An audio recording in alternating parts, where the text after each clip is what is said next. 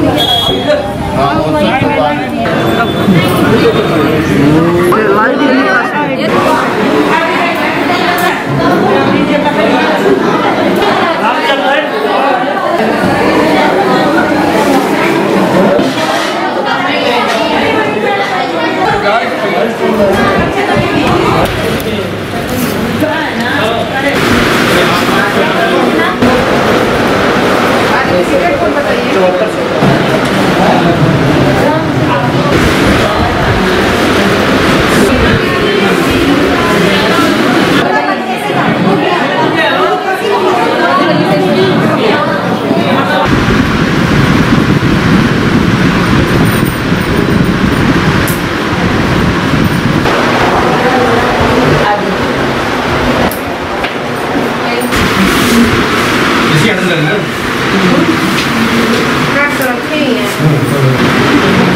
दूसरा में गया ना क्या नाम है उन्हीं तरफ़ गया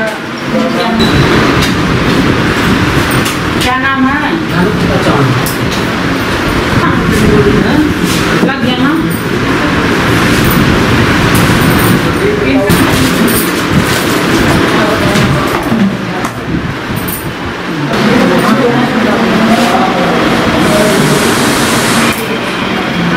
कितने टीकाकरण किया आज हमारे ज़िले में तिहत्तर जगहों पर वैक्सीनेशन हो रहा है जिसमें दो महिला स्पेशल बूथ चल रहे हैं।